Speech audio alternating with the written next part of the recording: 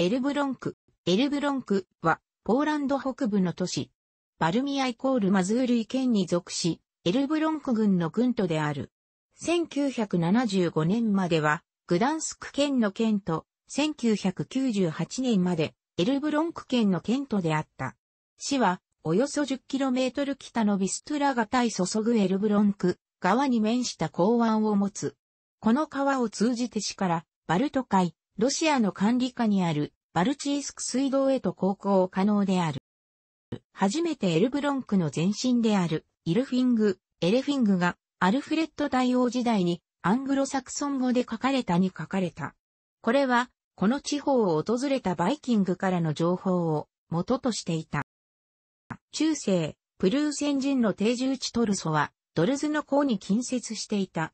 現在のエルブロンクは、プルーセン人の一部族ポゲサニアの土地にあった。定住地は10世紀に焼け落ちた。ドイツ騎士団が地方を征服、そして住民らはその過程で追い散らされた。騎士団は湖畔に城を築き、エルビング、エルビングの町を築いた。ここに移り住んだのは、リューベック出身の者がほとんどだった。現在の湖は、さらに小さくなり、もはや死には達しない。ドイツ騎士団の敗退と住民による城の破壊の後、1466年に死はポーランド王国の総主権のもとへ入った。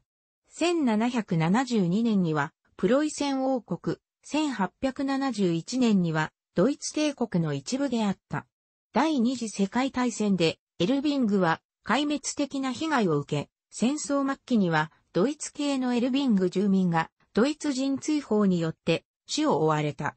1945年にポーランドの一部となり、ポーランド人がその人口の大半を占めるようになった。旧市街の復元は1989年より本格的に始まった。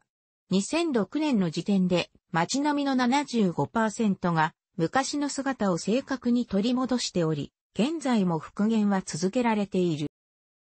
旧市街はドルズノ湖からビストゥラガタイとつながるエルブロンク川岸にあり、型からおよそ 10km、グダンスクからおよそ 80km である。市は第二次世界大戦末期にはその65%が壊滅的な被害を受けた。それでも立っていた多くの建物は同じく戦争で破壊されたグダンスクやワルシャワを再建するためのレンガとして共産主義者によって持ち去られ、その後にほとんど全体的に破壊された。市の新たな住民はすぐに市内部の部分を再建に取り掛かった。およそ2000件の建物が、かつての建築様式を見習って再建し始めた。多くのケースで同じ基礎と同じ壁の部分と古いレンガとを役立てた。しかし、市の西岸部分は完全に線も一新された。現在の市は、ドルズのことエルブロンク湾、ザとかエルブラスカの間の距離50%以上を占めている。この湾はビストラ型の入り江で川の両側に伸びるが特に東が深い。東部はエルブロンク高地、ワイズシュスイズナエルブラスカで氷河の圧縮によって押し上げられたドームである。この円の直径は390平方キロメートル、標高の最高点は200メートルである。うねと公園となる緑地が出現している。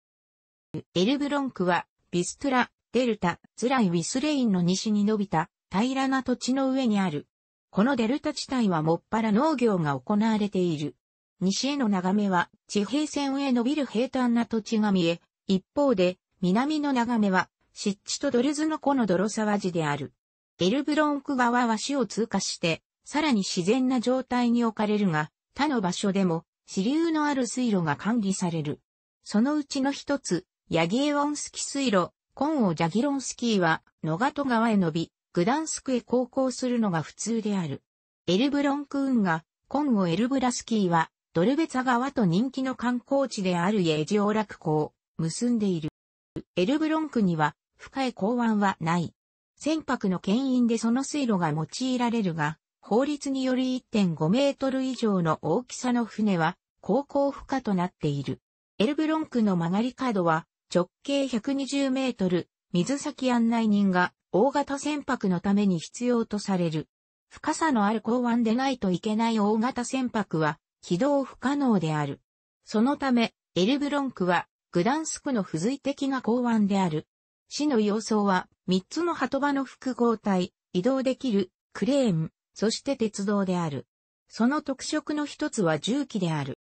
エルブロンク、エルブロンクは、ドイツ語のエルビング、エルビングがなまったものとされる。砦を建てるため、ドイツ騎士団の補助を受け、1237年には川の隣に騎士団によって町が作られた。砦建設の理由は、ドイツの十字軍騎士らが異教徒のプルーセン人と戦うにつれ、トルソに住むプルーセン人が騎士団が征服した地を再征服するのを退けるためであ。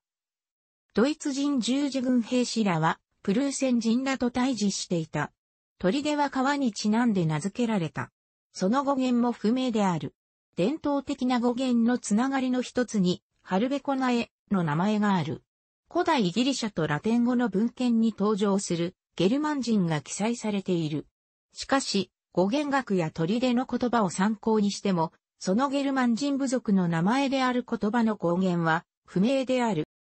初期の文献によるもの、エレフィングカは、カストラムでエルビンゴクアド A、ノミネフラマナイズエルビンガムアップレイビット、インエルビンゴ、インエルビング、インエルビンチ、クラビアムエルビンク、デエルビンゴ、インエルビンゴ、ビトラエルビンガム、エルビンゴ、インエルビンゴ、インエルビンゴ、ゼムエルビンチ、ツエルビング、エルウィン、ゼムエルウィンチ、エルビング、エルビアン、エルビング、KU エルビアガイ、W エルブラグ、W エルブラグ。トルソ、トルソの開港が初めて記述されたのはアングロサクソン人の船乗りによってであり、890年頃のことである。彼は、アルフレッド大王の命令で、バルト海南岸を航海していた。トルソの実際の位置は長い間わからなかった。海岸は重大な変化が起こったからである。しかし、多くの歴史家らは、ドルズの湖に面する現在のエルブロンクの近郊、もしくは内側に定住地があったことを確かめた。トルソはローマ帝国にすでに知られる領域にあった。ビストラ川湾に面する重要な海溝で、北のビルカからコトランド島とバルト海のビスビューへと、たどる中世初期バルト海交易路の途上にあった。ここから貿易商人は、琥珀の道沿いにさらに南のカルヌントゥム、現在のウィーンとブラチスラバの間にあったローマ帝国の軍駐屯地へと旅を続けた。古代の琥珀の道はさらに南西と南東の国海へ向かい、すぐにアジア大陸へ渡った。東西貿易路はトルソを出発し、バルト海に沿ってユトランド半島、そして内陸からユトランド最大の貿易中心地ゼビューへと向かった。トルソの主要な商品は琥珀、毛皮、そして奴隷であった。1897年に考古学的発見が1920年代にはトルソのものとされる出土品がグーとハンスドルフで見つかった。広大な埋葬地もエルブロンクで見つかっている。工芸品はエルブロンク博物館に置かれた。近年のポーランドの出土品は燃えた木材と灰と多くの千年前の工芸品がおよそ20ヘクタールの地域から見つかっている。プルーセンラント征服の試みは997年に始まった。ポーランドをボレスワフ一世は、異教徒のプルーセン人の征服と彼らのキリスト教改宗のため、プラハのアダルベルトと共に兵士らを送り込ん。彼らはバルト海沿岸にたどり着き、現在のグダンスク一帯でプルーセン人を回収させ、海岸沿いにサムビア、現在のロシア領カリーニングラード州と重なるへ向かった。1209年に始まった幾多の十字軍は、マゾビア公、コンラート一世マゾビエツキによって呼び集められた。コンラート一世は再びプルーセンの土地を我が物にしようとし、戦争を続けて、プルーセン人の独立を失わせ、1217年と1218年には、ローマ教皇ホノリウス三世は、騎士団に対し十字軍へ参加するよう説教を始めた。プルーセン人らは、スラブ系で、マゾビア公国の南にいたり、幾度もポーランド君主から征服が試みられ、戦ってきたポメラニア人と境を接していたが、このどちらの部族もすでにキリスト教に改宗していた。1223年に十字軍がやってきたが、プルーセン人に敗退した。彼らは、ヘウムノで、ポーランド軍を包囲した。ヘウムノには、初代プロイセン司教、オリバのクリスチャンがおり、彼は、ポメラニアとマゾビアを攻撃した。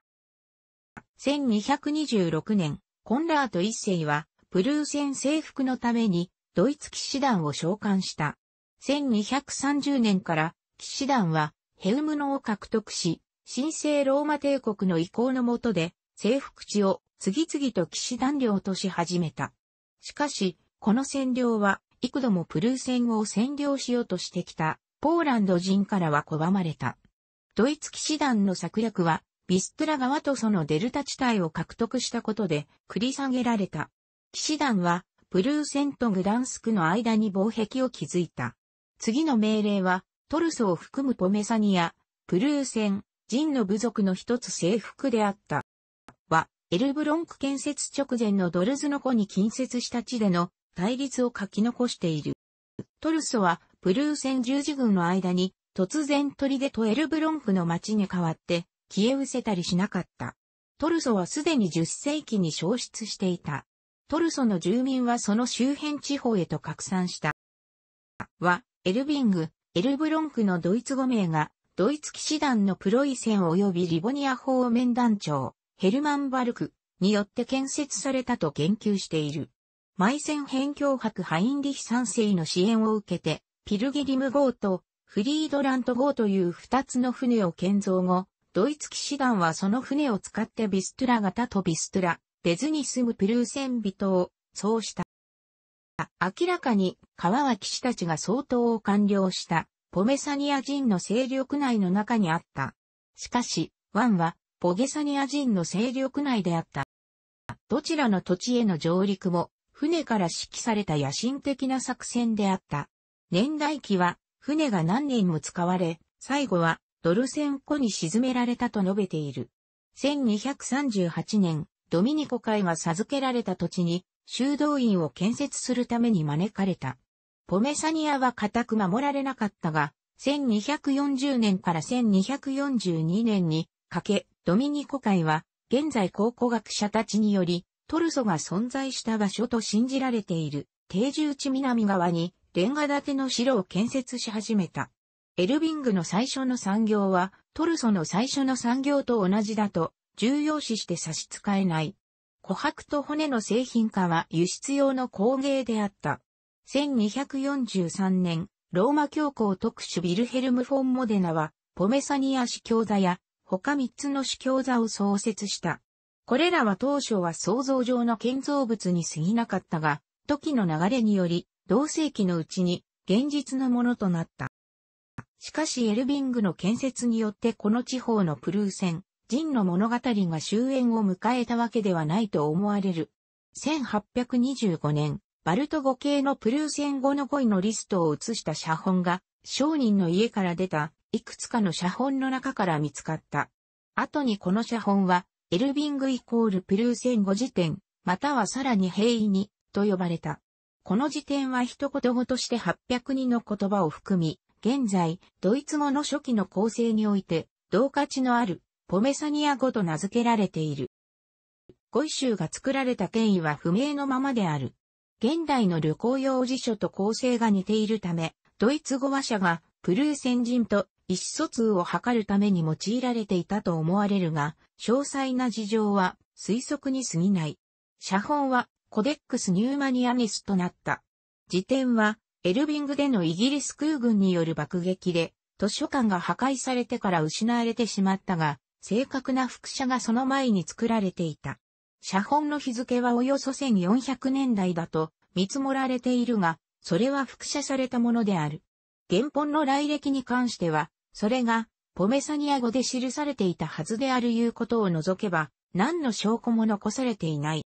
1246年、町は中央ヨーロッパ他都市で一般的であった都市法マクデブルク法の代わりに、海事の関連法であるリューベック法の下で法令が授けられた。これは、騎士団の決定が貿易連合を支持する全般的な策略を保っていたということであり、1358年にはこれが、ハンザ同盟となった。騎士団はこの団体の初期に団体そのものを占有し、バルト海全体を騎士団の基盤とするために利用した。同盟内での騎士団の困難は、幾分か矛盾に満ちていた。どんな都市でも、彼らは最高の権力者であり、典型的に刑務所として用いられる砦を本拠とする、町の総司令官であった。リューベック法は一方で、町に自治権を提供していたのである。ハンザ同盟の構成都市であることは、イングランド、フランドル、フランス、そしてネーデルラントとの重要な貿易の接触を意味した。市は数多くの承認特権をイングランド、ポーランド、ポメラニア、そしてドイツ騎士団から授けられていた。例えば、旧市街の特権は、1343年に昇格し、1393年には穀物、金属加工、材木の市場特権として授けられた。砦と教会を除くと、当時のエルビングは、現代の基準に照らせば、小さな村に等しかった。その面積は300メートルから500メートルだった。鳩場、市場、そして5本の通り、教会を売り物にしていた。城が完成したのは1251年だった。1288年、大火によってレンガ造りの教会を除く定住地全体が破壊された。新たな円形の城壁がすぐに建てられ始めた。1315年から1340年、エルブロンクが再建された。分離した定住地は新市街と呼ばれ、1337年頃建てられ、1347年にはリューベック法を受けた。1349年、ヨーロッパでのペスト大流行が終わりに差し掛かった頃、ペスト流行が死を打ちのめした。人口が増加に転じた後に、都市の再建が進められた。1364年、クレーンが港湾を建設した。ドイツ語の本、エルビンガーレヒツブーフ、エルビンジャーレックツボーチが、エルビングで書かれた。これは、プロイセンが初めてポーランドの慣習法を記載したものだった。ドイツ語で書かれたポーランドの法律は、お基礎としており、判決を助けるため書き下ろされた。これは、ポーランドの慣習法としては、最古の文献で、これは、ポーランド人の間では、クシーガルブラスカ、エルビングの本と呼ばれた。これは13世紀半ばに書かれた。1440年、西プロイセンと東プロイセンの町がいくつか集まって、プロイセン連合を結成した。これは1454年にドイツ騎士団支配に対するプロイセン反乱を率いた。自治都市住民らは騎士団の城を破壊した。連合はポーランド王カジミエシュ4世の支援を頼んだ。カジミエシュがその後プロイセンを要求したことがのきっかけとなった。プロイセン諸都市とポーランド王のドイツ騎士団に対する勝利が確定後、エルビングは1466年の第二次トルニ条約において、ポーランド王の総主権の下で、ポーランド王領プロシアの自治権の一部なった。市は、そのポーランド5名エルブロンクとして知られるようになった。1569年にポーランドイコール、リトアニア共和国が成立すると、市は、ポーランド王の直接統治を受けるようになった。16世紀の宗教改革では、自治都市住民はプロテスタントとなり、1535年には最初のプロテスタントのギムナジウムがエルブロンクに開校した。1579年からエルブロンクは自由貿易を行うことで一致したイングランドとの密接な通商関係を保つようになった。イングランド人、スコットランド人、アイルランド人の商人たちがエルブロンクへ移住した。彼らはエルブロンクにスコットランド長老派教会を作り、エルブロンク市民となり、30年戦争では、プロテスタントのスウェーデン帝国を援した。近郊のダンツヒ、現在のグダンスクとの競争が幾度も、通商のつながりを中断した。1618年からエルブロンクは、その密接なイングランドとのビジネス上の取引によって、ハンザ同盟を脱退した。当時の有名なエルブロンク住民には、エルブロンク生まれの外交官、ハンス・フォン・ボデック、と博学者、ザムエル・ハルトリープが含まれる。13年戦争の間、スウェーデン最小アクセル・オクセンシェルナは、モラビア兄弟団に属するプロテスタントであったコメニウスをエルブロンクで6年間、1642年から1648年、かくまった。1642年、ヨハン・エッカルトと共に作曲をしたヨハン・シュトベウスは、福音派のプロイセンの歌の一つ、 Preussische Festlieder を出版した。1646年、死の記録者、ダニエル・バルホルツは、市議会が Bernsteindreher、または、 Paternostermacher というライセンスを持つ琥珀加工の職人を雇ったと記した。彼らは祈祷用のビーズ、ロザリオ、その他琥珀の加工品を作った。バルホルツ家からは、市長や議員となる者がいた。30年戦争中、ビストゥラ型は、スウェーデンオーグスタフ2世、アドルフの南バルト海での主要基地であった。グスタフ・アドルフは、プロテスタント側の擁護者として称えられた。1660年からビストゥラ型はブランデンブルク戦帝公フリードリヒ・ビルヘルムの手に渡ったが、1700年に返還された。詩人クリスチャン・ベルニッケは1661年にエルブロンクで生まれた。哲学者ゴットフリート・アヒェンバルが人権と自然法によるその教育法で有名となっていた時期であった。エルブロンクは1700年から1710年にかけ、スウェーデン軍に占領された。1709年には、市は包囲された。1710年2月には、プロイセン軍の支援を受けたロシア帝国軍によって攻められた。1712年にポーランドをアウグスト2世へエルブロンクは引き渡された。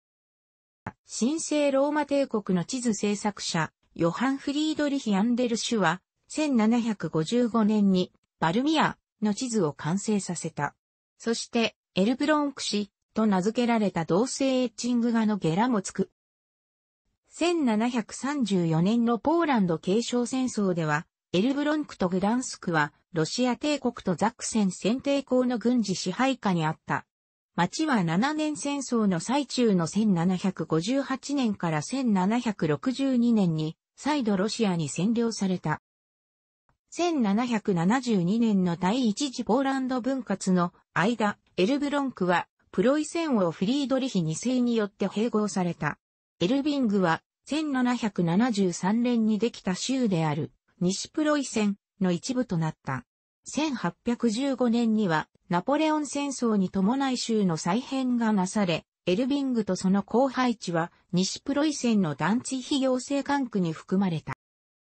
エルビングの産業化は、ベルリンにいるホーエンツォレルン家の総主権の下で進められた。1828年、最初の蒸気船がイグナーツ・グルーナウによってで作られた。1837年、フェルディナント・シハウがエルビングで造船会社を始めた後に、ダンツヒでも別の造船所を経営した。シハウは、ドイツ発のスクリュー船ボルシア号を建造した。海シーカオ社は、推理学に基づく機械、船、蒸気エンジン、魚雷を作った。1853年に、ケーニフィスベルク、ゲンカリーニングラードへの鉄道が敷かれた後、エルビングの産業が成長を始めた。シハウは、義理の息子であるカール・ H・ ツイーゼと共に働き、ツイーゼは、シハウの死後に工業複合製造を続けた。シハウは、数千人いる社員のため、広大な施設を建てた。ゲオルク・シュテーン家は、ケーニヒスベルク出身の義士で、エルビング運河の建設によって、バルト海近郊のプロイセン南部とエルビングとをつないだ。エルビングは1871年のドイツ統一でプロイセンを継承したドイツ帝国の一部となった。工業都市となったエルビングは、ドイツ社会民主党、SPD がしばしば選挙で過半数を占めた。1912年の国会選挙投票では、SPD が得票の51%を獲得した。第一次世界大戦後、西プロイセンのほとんどがの一部となった。エルビングは、ドイツ領の東プロイセンに加わり、ポーランド回廊によって本国バイマル共和国から切り離された。モルモン教徒がキルヒエンビューヒャー、カーチェンブッカーにおけるエルビング市民の教会記録を写真フィルムに収め始めた。記録は1577年から1890年までの日付が利用できる。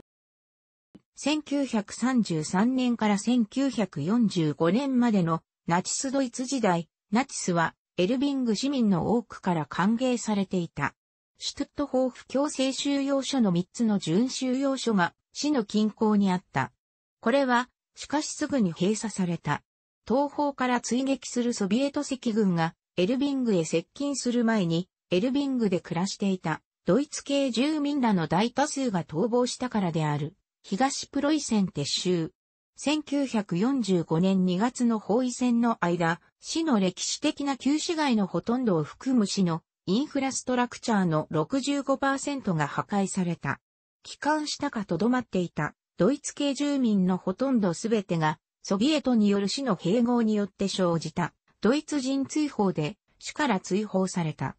1945年春にエルビングはポーランドへ割譲された。ポツダム会談による西側連合国の満場一致を得たスターリンがこれを決定した。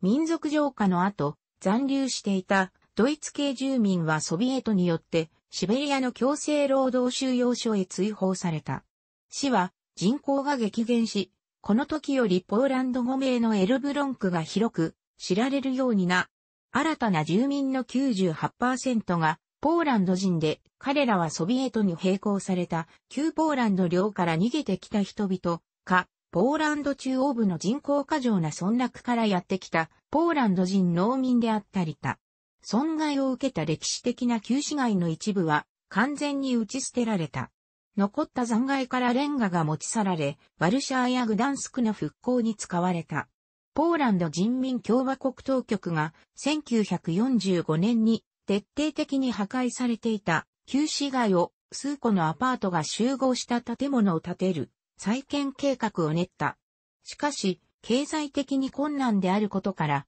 この計画は阻止された。2軒の教会建築は再建され、旧市街の残存する残骸は1960年代に取り除かれた。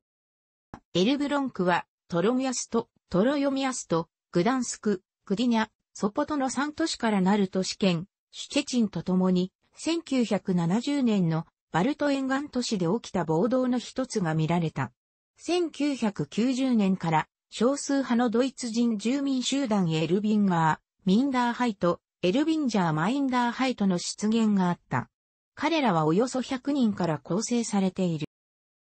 旧市街の復元は1989年のポーランドの民主化とほぼ同時に始まった。復元が始まった時、資料収集のための広範囲な考古学プログラムが遂行された。市の歴史遺産のほとんどが19世紀の規定部建設で破壊されたか、第二次世界大戦で破壊されていた。しかし、裏庭とトイレのある家は変わることはなく、市の歴史の情報を伝えている。私的投資家らが新たな建築に利用するため保存されていた石造物の一部を混ぜてしまった事件もあったが、2006年の時点において、旧市街のおよそ75%が元通りに建てされている。市の博物館は断片的に残された多くの芸術品、そして日用品、ヨーロッパ唯一の15世紀の双眼鏡を含むなどを収めている。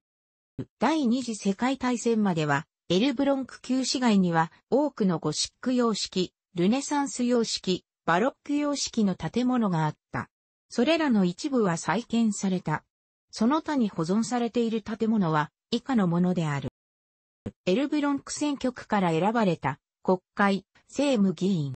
楽しくご覧になりましたら、購読と良いです。クリックしてください。